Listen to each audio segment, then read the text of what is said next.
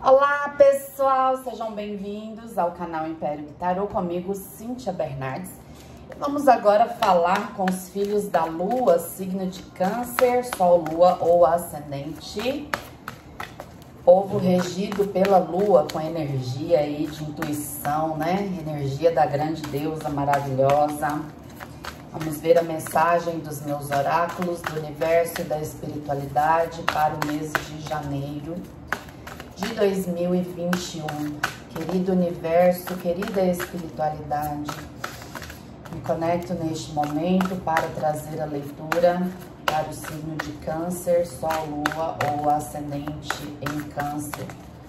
A mensagem, as energias, os conselhos e orientações para meus cancerianos. Gratidão. Gratidão 2021. Uau! Temos aqui a energia regente aí do mês de janeiro, arcano maior a força. Então isso me fala que vocês estão fortes, vocês estão empoderados, né? Com muito brilho, com muita paixão pela vida, ah, pelas situações e assim com muita força para que as coisas realmente fiquem bem, para que as coisas realmente aconteçam. A energia do arcano maior, a força é regida pelo signo de leão, então pode ser até pessoas aí de leão, tá? Mas eu vejo um mês de muito brilho e muito empoderamento para vocês. eu tô rindo porque é o mesmo desafio que saiu para gêmeos. O desafio nós temos aqui o as de copas, tá? Acredito que seja mais ou menos assim, câncer. Vamos esvaziar a nossa taça para que ela possa ser novamente preenchida, né? Então, o As de Copas é uma carta que fala muito das nossas emoções, fala do amor e é o transbordar. Então, como desafio, eu acredito que muitos de vocês é, precisem aí realmente é, se desapegar do passado, né? Situações que aconteceram no passado e estarem abertos aí para que a, a taça seja preenchida novamente, tá? Com novas sensações, novas emoções, ou até mesmo novos amores, ok? Nossa, tá saindo tanto nove de espada, gente, para quase todos os signos. Ó, espiritualidade, temos aqui o nove de espadas, então acredito que a espiritualidade esse mês vai pegar pesado aí na vida de vocês, no sentido de transmutar os pensamentos negativos, os medos, as dores, os sofrimentos, né? Fazer com que você saia, às vezes, da caverna, saia da sua zoninha de conforto, tá? Muita coisa de preocupação, medo, ansiedade pode ser que esteja acontecendo aí somente no seu mental, só na sua cabecinha. No passado recente, os primeiros 10 dias, nós temos aqui o arcano maior, a justiça. Então, isso aqui mostra que algo foi equilibrado na vida de vocês ou mesmo vocês tendo ah, essa consciência de que é necessário ter o equilíbrio em todas as áreas, né? Acredito que muitos de vocês tomaram ações justas, ações corretas, tá? E temos essa energia aí, né, de equilíbrio. Estamos no momento atual com o Três de Copas, que é a carta da celebração, da alegria. Vamos celebrar a vida, vamos celebrar o amor é, vamos, vamos agradecer, muita gratidão, é, muita comunhão também, né, de vocês é, com as pessoas que vocês amam, de vocês com a espiritualidade, tá? Acredito que até o dia 20 seja aí essa vibração de alegria, né, de viver a vida. Vamos viver a vida. E finalizando o mês aqui com cinco de copas, nos últimos 10 dias, vem aquela questão de ter a consciência, né? De que é necessário uh, parar de chorar pelo passado, parar de reclamar, parar de chorar por aquilo que não deu certo, desapegar, agradecer o que está bom, que está dando certo, né? E olhar para frente, se levantar, olhar para frente e seguir a vida. Esquecer o passado. As suas metas e projetos, temos o 10 de paus, então janeiro vai marcar aí o final, né, de um momento, de um ciclo creio eu, para muitos de 10 anos, para muitos de 10 meses, para muitos de 10 dias, aonde surgiram aí muitos compromissos, muito peso, muita responsabilidade, e você até sentindo assim, nossa, eu tô cansado, parece que eu tô carregando o mundo nas minhas costas, né? Então, janeiro marca aí a finalização. E essas duas cartas aqui me mostram muito, ó, resgates kármicos sendo feitos, né? Nós estamos aí no momento de resgates kármicos mesmo, viu? Até março aí, muito resgate vai ainda acontecer, muita catarse, tá? Vamos ver energia de família, temos o 10 de ouros, então vem aqui a prosperidade, é, preocupações em relação a algo financeiro ou material, eu vejo que a justiça divina se manifesta, tudo fica bem, energia de segurança, estabilidade, é o compartilhar. Eu vejo aqui casamento também, ou para vocês ou para alguém aí da sua família, tá? É um compromisso, um casamento, alguma coisa assim. Amorzinho para quem está solteiro, temos o, a rainha de copas, ó. A rainha do seu elemento, mira que rica. Então, a Rainha de Copas, ela traz muita amorosidade, ofertas de amor, muita intuição, muito magnetismo, tá? Vocês estão atraindo pessoas de Libra, pessoas de Leão, pessoas de Câncer, Escorpião ou Peixes, ok? Gente, quem tá esperando reconciliação? Eu não vejo reconciliação, tá? Eu vejo aí a necessidade de realmente equilibrar as emoções, desapegar do passado e se preparar para novas emoções. Para quem já está em um relacionamento, temos aqui a sabedoria divina. Então, use a sua intuição, a sabedoria divina para equilibrar o relacionamento. Eu vejo também aqui as pessoas que estavam passando aí por. Sabe quando às vezes você sente que o relacionamento fica pesado, ou você sente que só você que faz, só você que dá, só você que se doa. Então eu vejo a finalização aí também disso.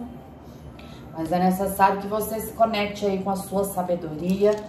Trabalhe as suas sombras, tá? Trabalhe aí as suas sombras, né? É uma coisa que a espiritualidade vai é, fazer muito com vocês. Trabalhar as suas sombras, trabalhar aí é, os pontos dentro do relacionamento que são negativos, né? E, e que vêm de você, não vem do outro. Eu vejo que são coisas que vêm de vocês, tá?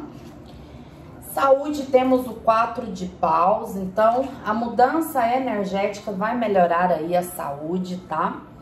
Eu vejo aqui energias de cura, estabilidade, alegria. Muitas pessoas estavam aí meio que com emocional abalado, tristinho. Então, a gente muda a consciência, muda essa energia e o corpo responde de uma forma super maravilhosa.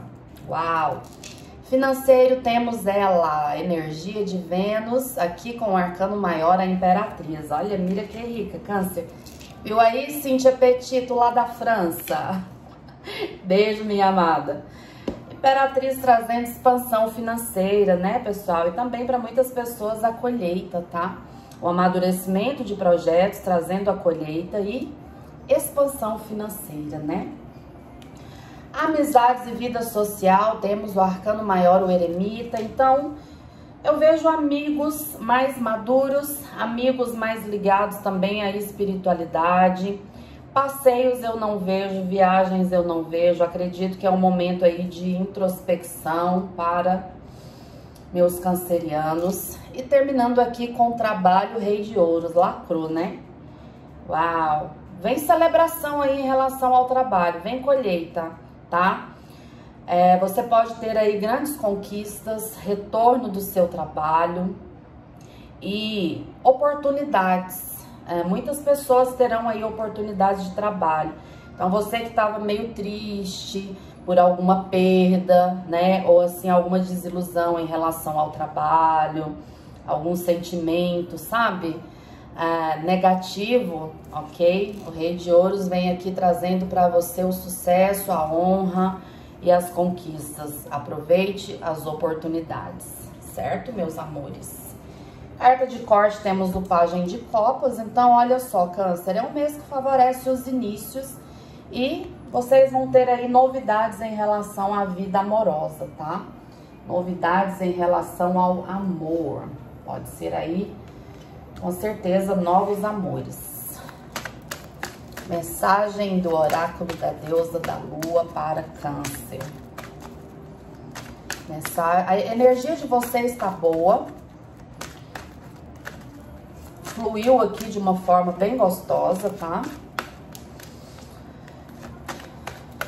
Mensagem da deusa da lua para câncer.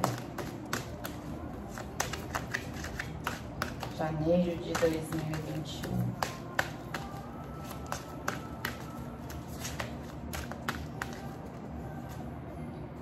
Extremos, uau! Então na lua cheia aí, ó, o negócio vai ficar hot, viu?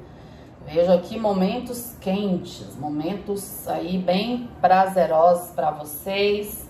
Darkness, é necessário, Câncer, esse mês você enfrentar as suas sombras, enfrentar a escuridão, enfrentar as trevas para que você veja a luz, né? Encarar as sombras aí para transmutar. Porque vem muita purificação para vocês, principalmente no mental, no emocional. Vá, é um momento para você ir, ter atitudes, fazer acontecer. Não espere acontecer, faça acontecer em todas as áreas da sua vida. E um caminho, um portal vai surgir aí para vocês, ok? Um grande portal, principalmente na próxima lua minguante. Próxima lua minguante vai ser aí um momento onde muitas coisas, novos caminhos, muitas coisas espirituais vão acontecer. E é um mês que você precisa ter foco, tá? Olha a borboleta aí falando da mudança, das metamorfoses, tá bom, Câncer? Mensagem da deusa Vênus. Mensagem, oráculo, o caminho de Vênus. Esse é o meu oráculo, para quem não conhece. Eu estou com as últimas unidades, vai ser aí um oráculo bem exclusivo, né? Quem tem, tem, quem não tem, não tem. Então, se você ainda se você deseja, né, adquirir, se você deseja não, vai lá e compra. Isso aqui é um instrumento maravilhoso, principalmente para esse ano. Querida deusa Vênus, na descrição do vídeo tem o link, tá? Querida deusa Vênus, qual a mensagem para câncer, sol, lua ou ascendente? Janeiro de 2021 energia de Libra, ó, trazendo parcerias e equilíbrio, né? E saiu aqui a carta de, da justiça que traz a energia de Libra. Energia também do signo de escorpião, saiu também a rainha de copas falando de escorpião. Então, assim, escorpião fala dos mistérios, da sensualidade, né? Uau, energia de gêmeos, olha só, movimento e comunicação. Pode ser pessoas do signo de gêmeos também. E sim, câncer, você vai conseguir, tá? Seja lá o que for que você desejar, você vai conseguir. Isso acabou, deixe ir. Aquilo que acabou, câncer, é o, é o mês. Não carrega para fevereiro, por favor. Deleta da sua vida, do seu sentimento, da sua mente, do seu espírito solta, abre a gaiolinha, deixa esse passarinho voar, tá? Para que você também possa ter liberdade de voar e voar e voar e fazer um mês maravilhoso, tá? Beijo no coração, amo vocês e até a próxima. Tchau, tchau.